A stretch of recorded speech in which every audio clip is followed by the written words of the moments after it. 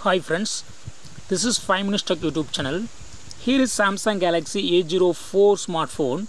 In this video you will learn how you can turn off screen lock unlocking sound in your phone Samsung Galaxy A04. If you press lock button that is a power button there will be a small sound. While unlocking also you will hear small sound. So if you if you would like to turn off the sound yes you can do it. What you have to do is just go to the settings of a phone here then go to sounds and vibration sounds and vibration then go to system sound vibration control.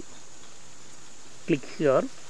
And here you will see screen lock unlock option uh, against this option you will have the button just turn off this button. Now you will not have that sound. Carefully listen. I locked my phone. There is no sound while locking. While unlocking also there is no sound. So in this way you can easily control screen lock unlocking sound. If you feel that this sound is is disturbing you just you can turn it off and then uh, you will be free from this sound that's all friends. Thanks for watching. Bye